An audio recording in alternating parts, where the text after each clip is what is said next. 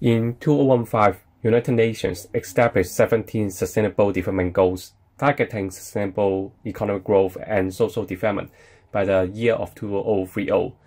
These SDGs cover five critical sustainability areas people, planet, prosperity, peace, and partnership. Higher education plays an essential role in achieving SDGs. However, there are only scattered studies on monitoring how universities holistically promote SDGs through their curriculum. The main purpose of this study is to investigate the connection of existing Common Core courses or general education courses in a university to SDG education. In particular, we want to know how Common Core courses can be classified according to SDGs. In this study, we use machine learning techniques to test the 166 Common Core courses in a university with SDGs, then analyze the results based on visualizations. Our training dataset comes from the OSDG public community dataset, which the committee had verified.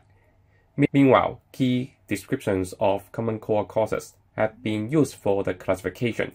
We used the multinomial logistic regression algorithm for the classification. Descriptive analysis in course level and curriculum level have been included to illustrate the proposed approach functions.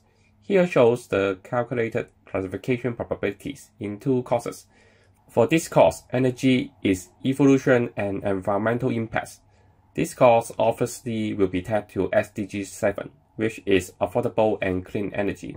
On the other hand, for this course, shaping our world, the probability of this course is relative average for each SDG. Therefore, the course cannot be classified to any SDGs 1 to 15. This, this judgment is also aligned to the human judgment.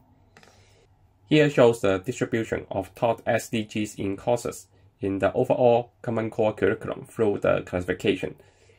Among courses, SDG 3, Good Health and Well-being, SDG 9, Industry, Innovation and Infrastructure, and SDG 11, Sustainable Cities and Communities, are the most mentioned SDGs in courses. The distribution is expected since teachers aim to teach topics that address up-to-date issues in societies and personal growth. The Faculty of Medicine offers a significant number of medical health courses. Meanwhile, humanity teachers also offer courses that teach about well-being and mental health. On the other hand, SDG 6, which is clean water and sanitation, SDG 15, life on land, are the least two mentioned SDGs in courses.